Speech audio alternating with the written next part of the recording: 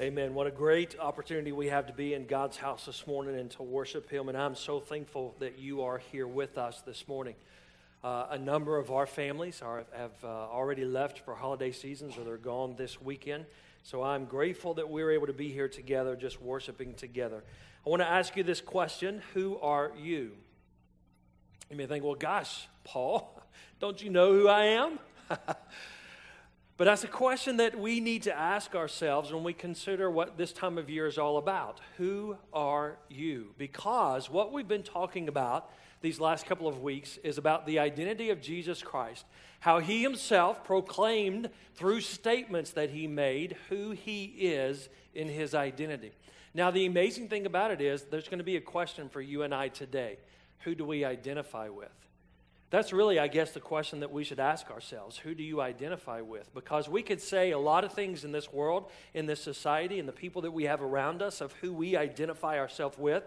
But what we have to understand is even at Christmas, that God word, God's word gives us a great picture of who Jesus is. And folks, let me tell you, as I've been studying, bless you, this series, that's my son. I know that sneeze. Bless you, my child. Where was it? Let me check my notes. oh, as I have been studying this series, it's an amazing thing for me to consider who Jesus is. And, and to know that what Jesus did was for you and me that not only that we've been given this gift, but that I may now identify myself with Jesus. That you think about it, church, that you and I can identify ourselves with Jesus. And, and the big question is going to be, who are you? Because when we begin to think about that, I, I'm, I'll be honest with you. I'm like, Jesus, there's no way, no way. But yet Jesus says, be holy because I'm holy. Do as I do. I have set you an example so that you could do also. All of these things that Jesus gives us is an amazing thing. And so when we come to this understanding of who Jesus is, we have to ask ourselves the question Who am I?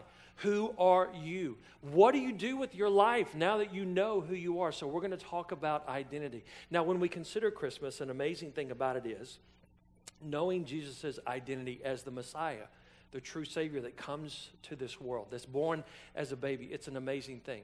But, but let's just take consideration of some identity that's going on because sometimes life happens. life happens and things happen in our life and we change and things change around us in our circumstances and and you know it's just hard sometimes to understand that and to grasp that take for example mary you know as we celebrate Christmas and what Jesus did for us. You know, it always makes me think about all those involved in the Christmas story that we hear about. And think about Mary. Think about who she thought that she was her identity. She was arranged and, and planned, and arrangements were being made for her to marry Joseph, and it was going to be a wonderful thing. And then the angel came and just blew that plan right out of the water. Her identity changed in a heartbeat. I mean, consider this a teenager who was engaged to be married. Then all of a sudden, this angel comes and says, Things are going to change in your life because you have found favor in God. That alone would blow my mind. You have found favor with God. And then the amazing thing that the angel came and said, Oh, yeah, by the way, you're going to become pregnant through the Holy Spirit. And Mary says, Whoa! Luke 1 tells us that's what she said. Whoa! In, I'm sure it's in Hebrew, but it said that. And she said, How is this supposed to be? Because I'm a virgin. And the amazing thing, if we look at this in Luke chapter 1, verse 31, it says this that the angel said, You will conceive and give birth to a son, and you are to call him Jesus. And he will be great and will be called the Son of the Most High. The Lord God will give him the throne of his father David, and he will reign over Jacob's descendants forever. His kingdom will never end. And Mary says, verse 34, How can this be? Whoa. since I'm a virgin. And the angel said in verse 35, the Holy Spirit will come on you, and the power of the Most High will overshadow you. So the Holy One to be born will be called the Son of God. Man, can you imagine? Her whole identity changed by what God was proclaiming to her about what was about to happen. But this very thing was prophesied about. This very thing is what they had been looking forward to the coming Messiah that would change the world, that would save the world. And so, what a, a, beautiful picture that we see about Mary is if we were to continue to read in that passage in Luke chapter 1 and to hear her song of praise and adoration because not because her whole world was turned upside down but because she knew and believed she believed in this new identity that had been given to her. And it changed who she was. Folks sometimes we have to come to the grasp uh, and understanding of who we really are because you see identity is important because listen church identity is important because it causes us to act. If I'm going to be identified with a certain role, then I'm going to begin to act that way. If I'm going to be a teacher, then I'm going to start acting like a teacher. I'm going to train as a teacher. I'm going to do those things. If I'm going to become a parent, oh, there is no training that will help. Sorry. no, seriously. But if we're going to do that, then how many of y'all that have new, I mean, gosh, we've, what was it, six babies that we had a baby dedication for here in November? Blows my mind. Church growth, yes. But the amazing thing about it is we try to prepare for those kind of things so that becomes our identity. When we're in a relationship, what happens? We begin to act to secure that relationship and to make sure that everybody feels good about it. When we have a job, we want to put our identity in that so that we can be successful in all the things that we have. And so what we identify with causes us to act, to do something in our life. And the amazing thing about it is when we understand the identity of Jesus, and all that He has given us. Church, it should cause us to want to identify with that. Let's, let's think about the things that we've talked about in the identity of Jesus. When he said, I am the light of the world in John chapter 8, it was because he knew that in the darkness there was light. And in fact, in the context of what he said, remember, it was in the spirit and celebration of the light of God, which reminded and reflected upon the presence of God. God is with you. So when Jesus says, I am the light of the world, He's saying you don't have to be in darkness. When Jesus said, I am the gate and I am the good shepherd, it, taught us about this idea that only through Jesus can we experience a relationship with God. And only through Jesus will we know what it's like to be cared for and comforted and protected and shielded and all of those kind of things that God gives us through Jesus when He said this. When Jesus said, I am the true vine in John chapter 15, it's an amazing thing because we identify with the source of life that Jesus said, I am now the vine. When Jesus said, I'm the bread of life in John chapter 6, it wasn't about being content with anything in this world. It was that we could have substance through the life that Jesus gives us. I am the bread of life. When he says that I'm the resurrection and the life, this was in the midst of death. When Jesus, when his heart was broken for his friend Lazarus, and when he went and said, Yes, I'm the resurrection and the life, but more than that, I have come to give you life, to redeem us. That's the identity of Jesus. And when we associate with that identity, when we want to be like Jesus, when we believe that Jesus really is who he says he is, then we begin to take on that identity in our life as we act, as we do the things that God has called us to do. So I want to ask you this question What do you really have to do with Christmas? You say, Well, I have a whole list that I gave Santa. I'm getting all the presents. That's a lot. That's Christmas. Christmas is presents, is it not? Christmas is getting together. We're all going to cook. We're going to eat, eat, eat, and be merry. And this idea that we come together to celebrate the love that God has given us. God's given us love. So, what do I have to do about Christmas? I can love, I can give, I can receive, and I can eat. Huh, is that it? What do you have to do with Christmas? We have to understand the identity of Jesus himself when he came in the form of a baby so that you and I can know who is Jesus and who am I when it comes to Christmas. And that's what brings us to our text today. You see, sometimes in the busyness of all the world, you and I have to stop. I came across this in a devotion I was reading, and I just want to read it with you because it hit me right between the eyes. It says this If I stop long enough, I see a love so extravagant, so lavish, so relentless that it broke into the darkness of the world that Christmas mourned. A love so unfailing, so divine that it continues to pour down on us today, soaking us in His grace, plunging us beneath the fountain of His love. Christmas is the love story of God who loved us enough to send his one and only Son to the earth. It is the story of God who would humble himself and give us his throne for a trough, give up his throne for a trough in a stable. Listen to this, but when I truly pay attention to my world, I do see God's grace upon us, moment by moment. In the smile of a baby, in the warmth of a hug, in an answer to prayer, in the glimpse of a glorious sunset, in the nourishment of His Word, in a really great homemade meal, and of course, in Christmas. What do you see the identity of Jesus in Christmas? Who do you see as Jesus in Christmas? You say, well, Paul, it's Christ must. It means that Christ Christ is with us. Yes, Scripture teaches us that His very name, Emmanuel, God with us, that we sing about that He was born, giving up heaven, heaven coming down upon us. But who do we really say? Who do we identify with when it comes to Christmas? And we have to understand that purpose of Jesus Himself. And that brings us to our text today Jesus' identity and Christmas.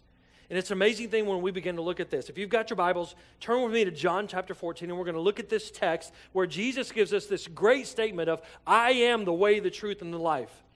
And the amazing thing about this, I want us to get the context of what Jesus is saying. As we've done this before in the I am statements, to understand what Jesus is telling us so that we can apply that to our life.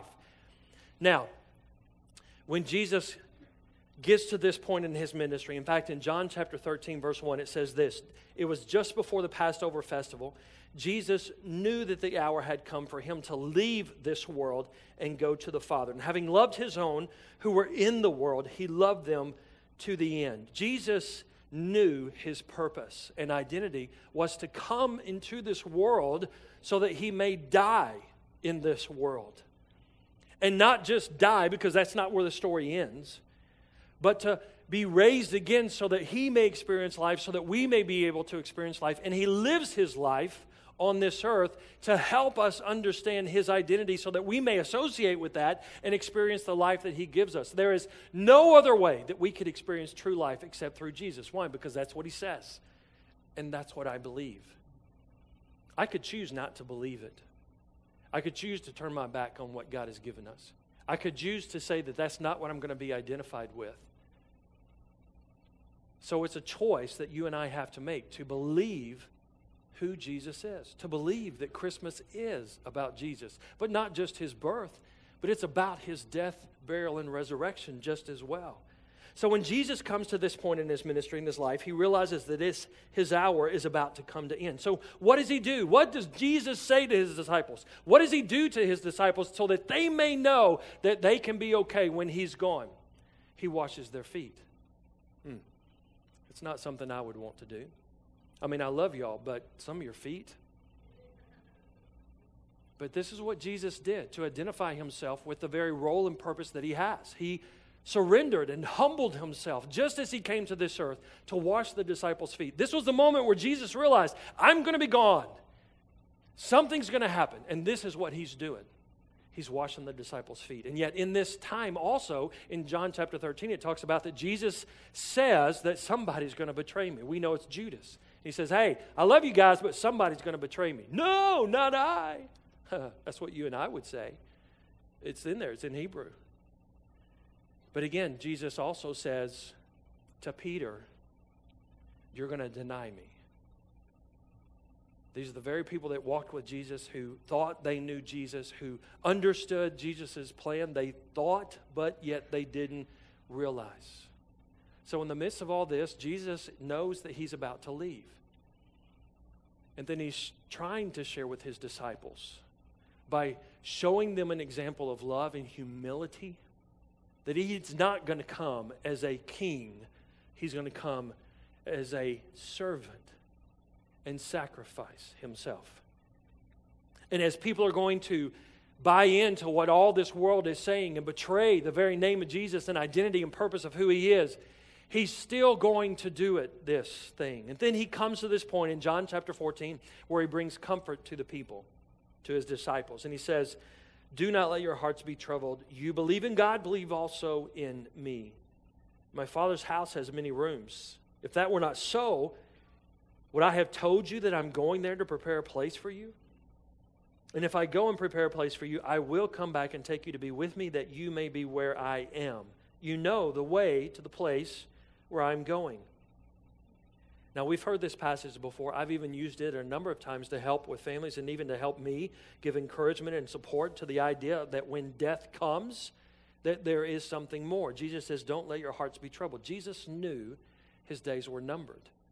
And he was trying to share with the disciples part of who he is. Believe in God, believe also in me. And then we have this incredible response from Thomas. Thomas, bless his heart, like many of us. I can relate to Thomas. He says in verse 5 Jesus, how can we know the way? You say we're supposed to know the way. Well, how are we supposed to know the way? And then this is the response that Jesus gives us in verse 6, where we get our statement today. Jesus answered, I am the way, the truth, and the life, and no one comes to the Father except through me. So Jesus is making his claim to the idea of his identity in the midst of leaving his disciples, leaving this world, knowing that his purpose was coming to a completion. And Jesus says, I'm the way, the truth, and the life. Why? Because Jesus knew that he was the only way to eternal life. Jesus knew that he was the truth to stand upon. When everybody else was saying, Don't believe this, when everybody else was saying, You don't know, you shouldn't follow this Jesus, you shouldn't live that way, don't identify with Jesus. And then Jesus also says, I am the way, the truth, and the life. And the amazing thing about it is, after Jesus says this, then we see where Jesus actually does go to sacrifice himself on the cross for our sins, so that we may, through his death, our sins may be paid for, and through his resurrection, we might have life to be able to associate with Jesus. But it's all in how you believe. What is your identity? Who are you? What do you have to do with Christmas? So Jesus says, I'm the way, the truth, and life. And it's not a matter of just being able to have this comfort and say, oh, I put on the label of being a Christian. No, but to identify with who Jesus is as the way, the truth, and the life. To know that Jesus said this as a statement of his identity. And then when we accept that identity, when we have Jesus in our life, when we ask him to come into our life, when we believe with our hearts and confess with our mouth that Jesus is Lord, then the amazing thing about it is the identity of who Jesus is now comes to be a part of our life. Whew, that should blow your mind, because it does mine. Folks, when we come to the point of uh, knowing this world that we live in, all the things that we have to deal with, and yet in that, Jesus says, I'm still the way, the truth, and the life. If you just believe in me, He doesn't say you're going to have a perfect life. He doesn't say you're going to have the best relationship that you possibly can. It doesn't say that he's going to that you're going to stop sinning in all of life. Whew, wouldn't that be a Christmas gift? No, but what he says is just believe in me because I am the life. I am the way. I'm the truth. I'm all that you need. But yet, we also see in here where Jesus gives us a better understanding of his identity. Because not only does Thomas say, Well, how can we know the way? You say where we should know the way. How do we know the way? And Jesus says, I am the way, the truth, and the life. But also, we see sometimes that even our identity can be altered by the things that we see, our circumstances, our things, the things that we go through. So many times we try to identify ourselves with what we have on this earth when we just need to understand what Jesus has done for us, what he has come to do, what he is trying to do in our life to redeem us. And this is why I want to just share with you three words to help us see Jesus for who he really is. Three words that I want you to understand. They're very simple. Number one, believe. Number two, see. Number three, do. All right, if we do that, then we'll have a happy life. Let's just do it, church. Amen. Easier said than done, huh? And why is that? Because even the disciples struggled with it. Even the disciples, the ones who were following Jesus, the ones who were there with Jesus, who saw Jesus, who identified with Jesus, they struggled with this also. And you and I today, we don't have Jesus walking beside us, or do we? We, we don't have somebody to follow along and to hear them preach. Or, or do we? You see, that's where we really have to wrestle with this idea of who are we? Who are you? And what do you have to do with Christmas? It's the understanding of who Jesus is. Now let's look at our text because Jesus helps us to understand as he helped the disciples to understand. Because after Thomas had said this question and Jesus said, I'm the way, the truth, and life, he says in verse 7 If you really know me, you will know my Father as well. From now on, you do know me and have seen him. That you do know him and have seen him. And Philip in verse 8 of chapter 14 says this Lord, show us the Father that we will, that that will be enough for us. you see, the amazing thing about it is, Jesus says, verse 7, you've seen him. You have seen him. Because it was just asked, how are we supposed to know the way? I'm the way, the truth, and the life. If you know the Father, if you know me, then you know the Father because we are one and you know him and now you've seen him. And Philip, in all his wisdom, says, Lord, if you'll just show us a little more, we'll believe more. How many of us have said that before? God, if you'll just show me a little more of who you are, man, it will be a lot easier to believe you. God, if you just come down and fix it. No, God, if you'll just write it in the sky so that I can see it and say, see there, God says it, so we all should do it. But you know what? He already has done that through Jesus Christ. This is the gospel of Jesus Christ that Jesus came in the form of a baby to be born. And not just to live on this earth to show us the great lavish love of God, but to also show us the sacrifice of what it means to be humble under God, to believe or not to believe. To come to the point of understanding that Jesus did these things for you and I so that we may identify with who Jesus is. So therefore, we have Christ within us to be able to handle all the things that the world comes, to be able to see who Jesus really is, to know that God has given us this great gift of grace for us to live in every single day. Folks, I don't know what you're going through. I don't know what you're struggling with. I know many of us in this room and in the early service, um, we could list out all the things that we struggle with our anxieties, our problems, our secrets. Maybe some of us wouldn't want to put our secrets on paper, but you know what I mean. We all have those things in our life. And that changes how we see Jesus. That changes the identity that we see in Jesus because it changes how we see Jesus. We think Jesus is just this wonderful thing out there that we can say, oh, yeah, on Sundays I'll associate with Jesus, but other days I won't. Oh, yeah, on some days I'll associate with Jesus and be like him, but on other days I won't. You see, this is what causes us conflict in our understanding and faith to know. This is why Jesus said, I am the way, the truth, and the life. No one comes to the Father except through me. There's no other way. When he said, I'm the good gate, I am the gate, he said it was only through the gate that we should enter the pen, and that being in a relationship with, G- with God himself. But when Philip says this, just show us, this is what Jesus said. When he said, Lord, show us, his answer in verse 9 said, Don't you know me, Philip, even after I have been among you such a long time? Anyone who has seen me has seen the Father. How can you say, Show us the Father? Don't you believe that I am in the Father and the Father is in me? The words I say to you, I do not speak on my own authority. Rather, it is the Father living in me who is doing his work. Believe me when I say that I am in the Father and the Father is in me. Or at least just believe on evidence of the works themselves. Jesus says to Philip and to his disciples, Listen, believe in me. And not only that, believe in me because when you do that, believe in the Father because the Father is in me. And if you can't even believe that, just believe the things that you've seen with your own eyes. You and I, church, can't see those things again, a lot of times because we don't allow ourselves to see the work of God. Oh, Paul, that's kind of harsh. Well, let's be real, though. Let's be real, church. Because sometimes when Jesus says, This is who I am, we don't want that. We don't want to allow Jesus to come into our hearts because it changes everything about us. It changes what we feel about ourselves, it changes our perspective, it changes our identity.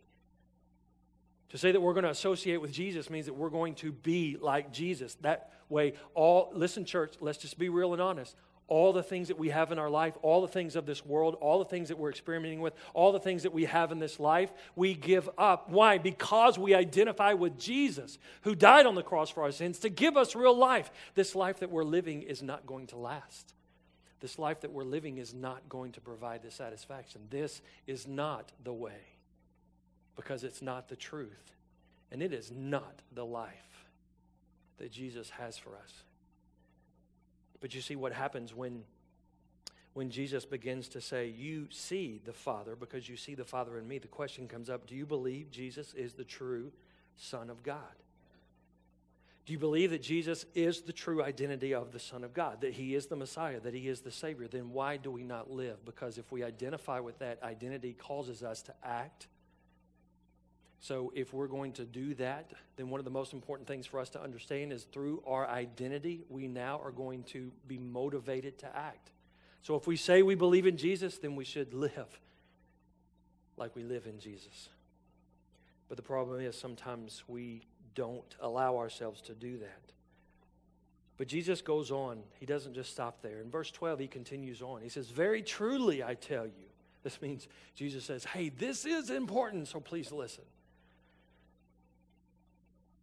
Jesus says, Whoever believes in me will do the works that I have been doing and they will do even greater things than these because I am going to the Father.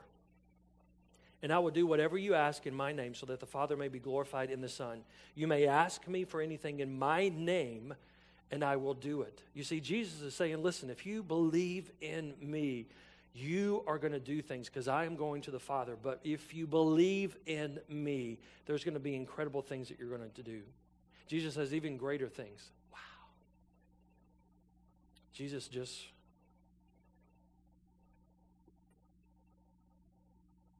performed miracles, fed thousands, brought people from death. He himself is going to die and then come again to walk on the earth, to ascend to heaven in an incredible way and say, I'm coming back to do it again. Do you believe? Do you really believe? Jesus says, if you believe, you're going to do incredible things. Only because we associate with who Jesus is. Because Jesus even says this in verse 15 If you love me, keep my commands, and I will ask the Father, and he will give you another advocate to help you and be with you forever. That is the Spirit of truth. So here it is, folks when Jesus said, I am the way, the truth, and the life, what he was doing is telling us again his identity. Jesus is the true Messiah. Jesus is Emmanuel. Jesus is the Savior of the world. Jesus is the way for us to understand life. Jesus is truth in the midst of all the things that the world tells us we need to believe in. Jesus is who He says He is. The question is do you and I believe? If this is what Christmas is all about, it's not just the birth, it's about who Jesus is, that He died on the cross for our sins so that we may experience this life that He has. Church, I do not want you just to go through this Christmas season and think, oh, oh, this is a great time for us to be together. No, it's to celebrate this birth and identity of Jesus Christ and to know that through the Holy Spirit, this spirit of truth is going to come, that I may live in that. And not that my life is going to be perfect, because let me tell you, it's not. I make mistakes all the time, I fail. I fail you as a church because I am not the perfect pastor. There are days that I struggle with my own identity sometimes because I'm like, God, why can't you make it easier? I mean, I love people, but I hate working with people. Because you know what I'm saying, though. I love you guys, but just like I get on your nerves, I do things that you don't like. I mean, just ask my kids; they could make a whole list for things. There are things that we do just because we're human and we're people, and we have this selfishness within us. But to know that in the midst of all that, Jesus is who he says he is. I believe that. I believe it enough that it causes me to act upon it. So every day, I have to be in God's word so that I may know, God, just give me a glimpse of who you are because I know there's going to be some darkness that I'm going to see today. There are going to be some things in my life that I'm not going to like. There are going to be uh, sorrows that I'm going to have to deal with in my heart. But God, just give me a glimpse of you. Lord, let me see you. I'm doing like Philip. God, just let us see a little more and then we'll believe. And then Jesus says, in all his greatness, I've come that you may have grace.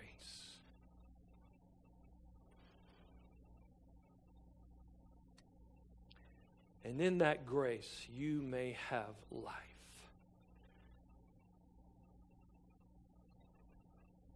And all it takes church, is for you and I to believe in Jesus and who he says he is. I am the way, the truth, and the life. There's no other way. Let's pray.